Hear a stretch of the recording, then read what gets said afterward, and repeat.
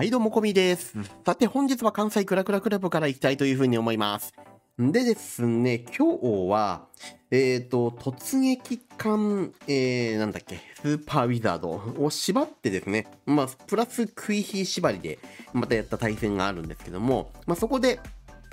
結構ね、えー、と、牛の蔵面がよく使っていた攻めを、あの、見ていきたいと思います。僕は、ああ、一発全開されてんだ。ショックだな。ちょっと、防衛しょぼいな。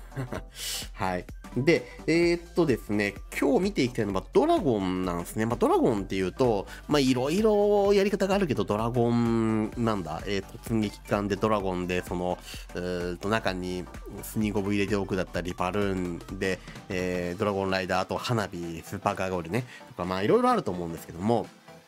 まあその中でも1個、突撃艦スーパーウィザードっていう選択肢が結構面白いかなと思って、まあそれをお話ししようと思います。これ前ね、ジョーカーさんかなが動画でもう出してるんで、そういう意味では、もう見たことがある方もいるかもしれないんですけども、結構ね、あの、使いどころっていうのがまあ面白くって、これまず見ていきましょうかね。エースさんが取っているアタックになるんですけど、これね、えっ、ー、と、どんな風に攻めていくかと言いますと、えっ、ー、と、ドラゴンたちを、ここ、確かこの辺の面かな？ダーッと出していきますね、ドラゴン。で、で、突撃艦をガツンってここに当てていきます、ここに。で、ここの部分、イーグル砲だったり、投石機だったり、えー、っと、なんだ、この、えー、タウンホールだったりがあるところに、突撃艦を当てていきながら中にスーパーウィザードが入っているというところ。で、えっ、ー、と、これね、花火でもいいんじゃないのって思う人もいるかもしれないですけども、あのー、花火とね、スーパーウィザード使い分けの特徴がいくつかあって、一つは、えっとね、スーパービーダードの方が呪文枠少なくて済むんですね。めちゃくちゃ。で、かつこういう風に施設が密集している場合には、ほらこれ、こんな風にさ、クロスボウの体力も半分にできちゃうわけよ。これすんげえ強いのよね。あの、チェーンがガンガン入っていくんで、あの、攻撃力のコスパがめちゃいいんですよ。で、これね、あの、多分、えっと、投石機両方とも、ファビフで狙おうとして、あの、2頭を追うもの1頭追う状態になっちゃったパターンだと思うんだよね、これ。多分。あの、どっちかに、その、なんだ、インビジをかけちゃって、どっちかがむき出しになるように、インビジを調整すればもっとうまいことだと思うんだけども、まあ、それ両方ともかかっちゃったもんだから、両方とも壊れてね、あの、行っちゃったっていうところですね。まあ、ただ、このクロスボウとかさっき言ったようにもうほんと体力がないので、こんな感じでもうガンガン殴り壊していけちゃうんですね。で、えっと、まあ、実質タウンホールを壊したぐらいになってしまったスパビズなんだけども、まあ、それによるチェーン効果で、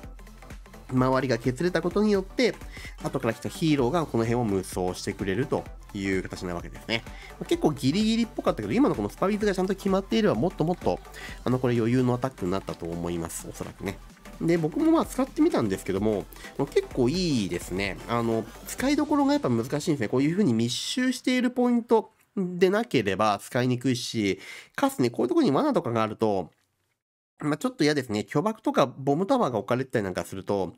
ちょっとこれは使いにくい。まあ、そういう意味では、あの、使いどころをそんなに選ばないっていう点において、あの、花火っていうのは使い勝手がすごくいいんですけども、今回のこの相手の村みたいに、いや、ここ突ウィズぶっ刺したいなーっていう場合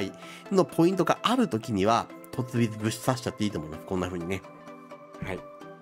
で、えっと、今回のこの相手って、今みたいな攻めをおそらくね、想定してないんですよね。なんでかっていうとま、突撃艦スーパービザードって、あの、タウンホールに向けて突撃艦はこういう風に飛んでいくわけですよね。こういう風に。で、ある程度距離がある場合っていうのは、この対空砲にラバハウンドをつけて、ラバーを縦にしながら突撃艦を入れていくわけなんですけども、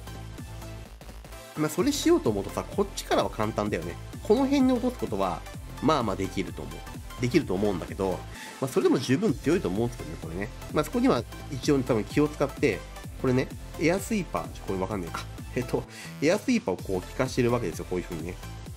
効かしてるじゃん。これはもう完全に、えっと、このタウンホール周りに、まあ、あの、突撃艦を撃つのやめてねっていうことですよね。こんだけのね、範囲でエアスイーパー効いてるんで、結構到達できないと思うんですよ、なかなか。なんですけども、この裏側ってね、実はすげえ文房備なのね。で、ここに突撃艦を当てようと思うと、まあ無理じゃないですか。あの、ラバーハウンドを撃ったところで、で、ここにラバー撃ったところで、全然その途中で弾けちゃうし、突撃艦が、あのー、ここの部分に落ちるっていうことは、まあ当然、初手突撃艦では絶対ありえないんですけど、だけど、ドラゴンと混ぜることによって、この奥の方まで行っちゃうんですね、突撃艦が。なんでかっていうと、トームが使えるからです。これがとにかく大きな理由ですね。突撃艦に頭部を合わせられるかどうかっていうのがめちゃくちゃ重要なポイントで、見ていてほしいんですけども、こんな感じで、まずはドラゴンを展開するサイドカットをしていきます。ドラゴン一気に出していきます。ドラゴンライダーも当てていきながらグランドウォーデン出して、ちょっと進行していったところらへん見計らって、ドラゴンたちがダメージ受けるぞ、やばいぞ、やばいぞっていうところまで行って、トーム。これトームを打っているから確実にこの辺にトリネがあってもこの区画に落ちるわけですよ。落ちちゃえばあとはもうインビジをガンガン、レイジガンガン打って、スパビズガンガンやって、ガンガン壊しちゃえばいいと、まあ、いうことになるわけですよね。こういう形の攻め方を想定していないからこそこれがブルトタルってことですね。はい、これね、スパビズが今こう この辺で結構やられちゃいましたけどね。ここういう風にインビジかければ、多分この、えっ、ー、と、イーグルと投石のむき出しになってスパビズが打つことができたんじゃないかなというふうに思いますが。まあっていうね、まあ多分エースさんもそんなにこれ、めちゃ使い込んでるわけではないと思うんで、まあまあ、あのー、アイデアの勝利って感じですかね。ではもう一発見ていきます。えっ、ー、とね、次見ていくのはこれかな。えー、ゼロさんのアタックですね。これも同じような感じで、あのー、スパビズをね、当てやすい区画があるんですよね。これ本当にね、いいとこに当ててる、これも。で、同じような感じ。えっ、ー、とですね、この面から行くわけですね。このイーグル砲のある面から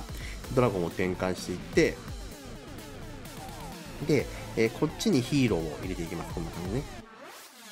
ヒーローを入れていって、で、突撃艦をドーンとここに当てていきます。で、タウンホール周りを、えー、スパビズで一掃するという格好ですね。で、えっと、これ多分ね、あのゼロさんもこれ、どうなんだ多分タウンホールを壊すつもりで、えっと、うん、落とすところをちょっとね、ミスっちゃってんじゃないかなっていう気がするんだけど、ただこのね、突撃艦の位置うまいね、あの、きっちりグランドオーデンのこの頭部の隅っこの隅っこにちゃんと入るように打っているから、で、角度をね、この角度から出したいわけですよ。だからちゃんと突撃艦がウォーデンのトーム範囲に入るようにしながらギリギリのそのね、角度のところでえー、出していってるっていうね、勇気になる突撃艦なんですけども、これ、クランジョをね、こういう風に、あの、フォアツ位置、まあ、クランジョの区画の中に入れると、あのー、なんだっけ、チェーンはすごく、あのー、周りに当てやすいんですけども、タウンホールに当てるには、この壁壊して外に出ないと、タウンホールにチェーンが入んないんですよね。だからそういう意味では、ちょっとね、ここの中に落とすっていうのは、タウンホールだけ残しちゃった場合に、ものすごいリスキーなんで、まあ、あの、後からこう言えばね、いや、上の方をドラゴンが壊してくれるから、えー、この辺ね、壊してくれるから、あの、スパウィズはもう壁を打って、外に出るしかないでしょっていう風にあの思うかもしれないんですけども、そこまで読むのはって多分僕結構リスキーだと思います。多分ね。なんで、あのー、おそらくこの辺に落とすのが一番良かったんじゃないかな。投石機も狙えて、あとこっち側とかかな。うん。投石も狙えて、クランジョを壊しながら、えー、タウンホール、インフェルノとかね、いうことができたと思うんですけども、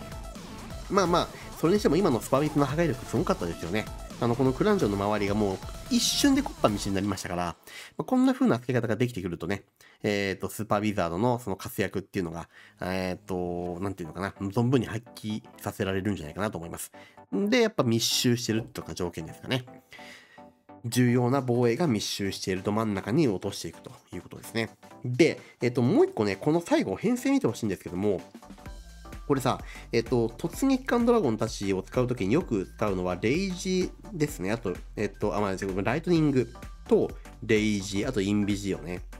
で、えー、残った呪文っていうのがさ、あと、これ2、1、2、1って合計で、えっと、6枠あるわけですよ。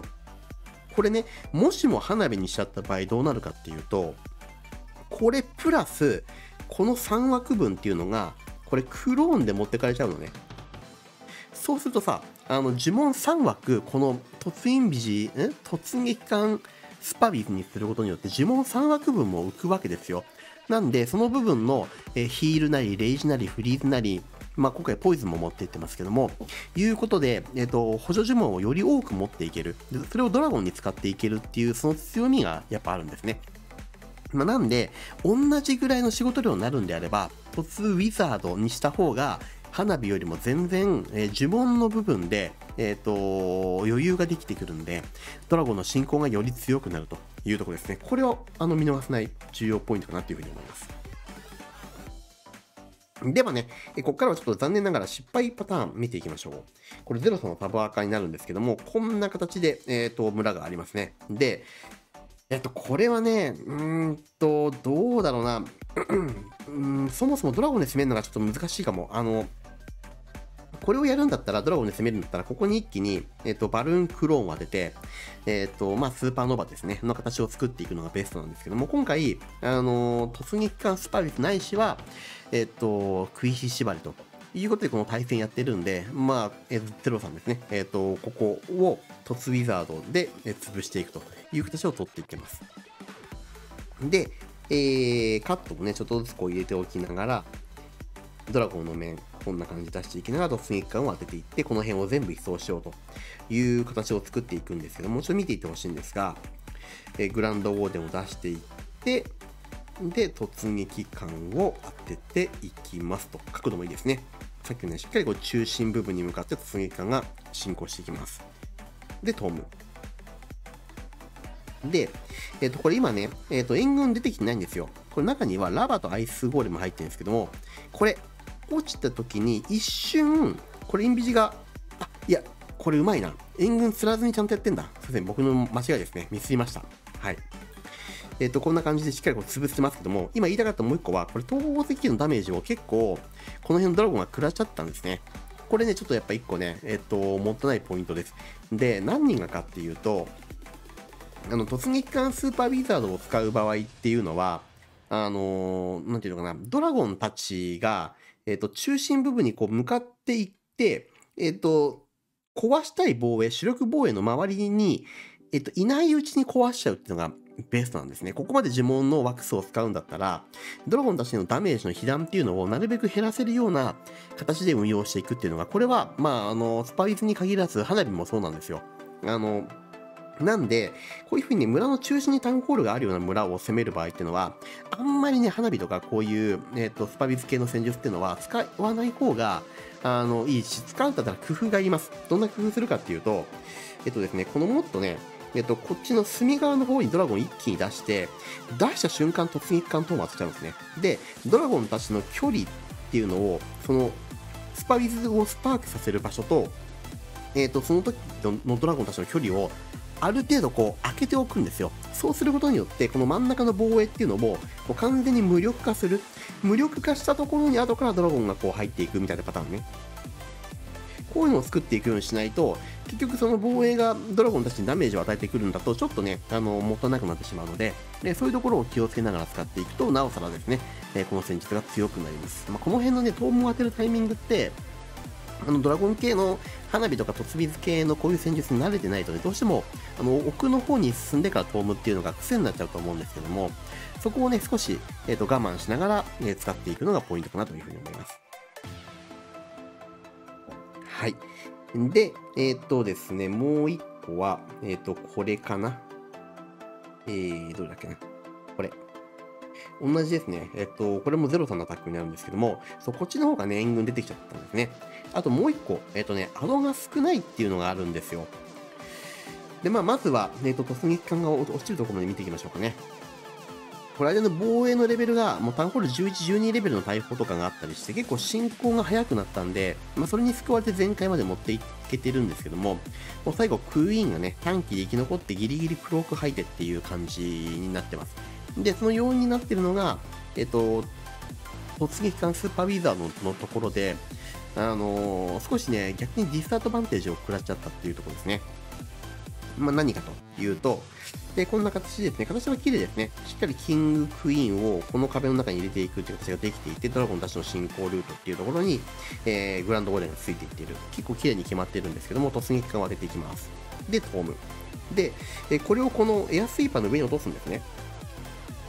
で、良さげに見えるんですけども、これ、えっ、と、インビジがちょっと遅かったんで、中から、えクランジの中からラバハウンドとアイスゴーレムが来ちゃいました。これ本来で釣らずに済む防衛援軍だったんですけども、釣っちゃったんですよね。で、これにやっぱり、えドラゴンたちがこう釣られて、ほら、変な動きしてるでしょ、こういう風に。で、おまけに、えっ、と、クイーンも、えー、ラバハウンドに捕まっちゃって、これほぼ仕事ができてないんですね。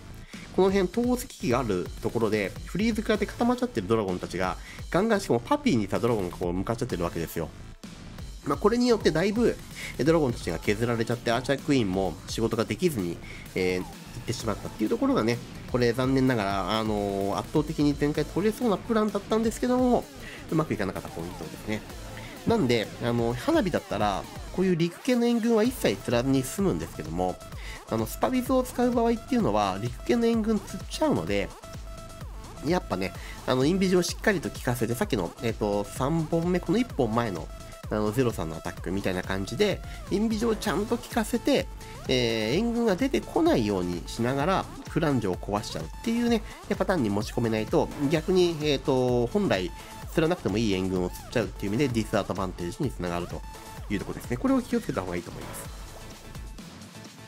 こんな感じですね。えっ、ー、と、最後、クイーンがギリギリで生き残ってくれて、これでクロークを吐いて何とか前回まで持ってきたというところですね。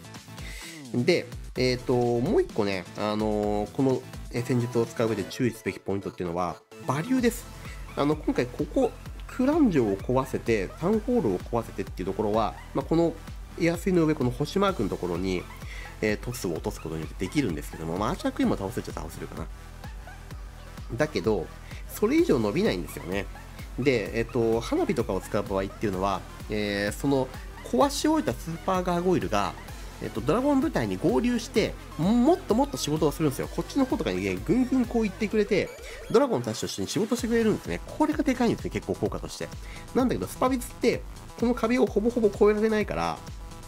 この中でしか仕事が、まあ、できないと思った方がいいと思うんですよ。なんだけども、タウンホールを壊した瞬間にポイズン食らっちゃったりとか、さらに、えー、この壁のね、えーと、外側で殴れる施設が何かあるかっていうと、ないんですよね。この、この辺しかないじゃん。だから壊せる防衛って本当この正味壁の中しかなくって、そうなってくると、スーパーガーゴールに比べて、呪文の枠数はまあ削減できてるんだけども、アドバンテージがあんまり取れないっていうことになっちゃうんですね。まあ、さっきの、あの、1本目、2本目のリプレイみたいに、周りにもう投石器とかね、あの、クロスボウがゴリゴリあるみたいな場合っていうのは、アドが取れるんですけど、こういうバリューが少ない場合には、むしろ、えー、そういうね、えっ、ー、と、突撃艦スパイスまで使わずに、まあ、今回縛りがあったからですね。縛りがあったから、あの、セロさん使ってるんですけども、ない場合っていうのは、えー、もうシンプルにドラゴンバルーンとか、ドラゴンライダーバルーンとか、まあ、そういう形で援軍もすらずにちゃんとね、タウンホールを壊していくっていうパターンに持ち込んだ方が確実性はありますね。っていうところを注意してもらいながら使っていただくといいんじゃないかというふうに思います。はい。というところでですね、本日は、えっ、ー、と、カンクラの、えー、突撃艦スパリスないしはクイヒー縛りというね、えー、野良対戦の中で生まれた、えー、ドラゴンスドラ、ドラゴン突撃艦スーパーウィザードですね。これをお話しさせていただきました。まあ、あの、別に真新しいっていうわけでもないかもしんないですね、人によっては。なんですけども、あの、使いどころをちゃんと見極めれば結構強いと思うし、あの、呪文の枠数を、えっ、と、削減できるという点において、花火よりも、えー、まあ、軽い戦術というかね、呪文に余裕が持てる戦術になりますので、ぜひね、えー、密集している高火力隊があるような配置をドラゴンで攻めるという場合には、もう想定していない裏からの突撃艦をぶちかましてやって、えー、スパビスでがっつりアドバンテージ取って展開まで持っていくというね、えー、アタックを試してみてもらえたらというふうに思います。というところでですね、本日の動画を終わりにしたいというふうに思いますが、えー、私のチャンネルこんな形で、ね、クラン対戦の解説系の動画中心にやっております。今回タウンホール14やりましたけども、12、13も含めて幅広くやっておりますので、いいなと思ったらグッドボタン、チャンネル登録、そしてこれからもご視聴どうぞよろしくお願いいたします。では本日も最後までご視聴どうもありがとうございました。また次の動画でお会いいたしましょう。バイバイ。